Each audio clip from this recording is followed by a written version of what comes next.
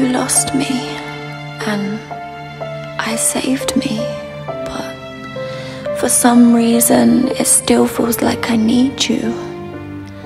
My body aches for you, but we never felt connected. Even in the most intimate moments, you were never truly there. Your mind was always elsewhere while mine was stuck on you. I lost sight of me, my happy. I let go of my dreams for you.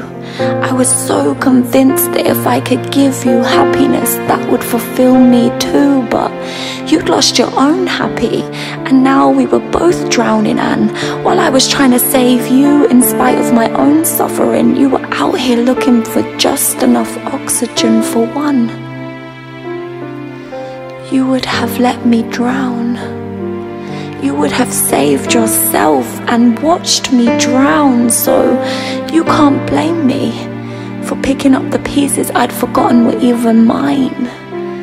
I saved me, and you don't get to call this love anymore.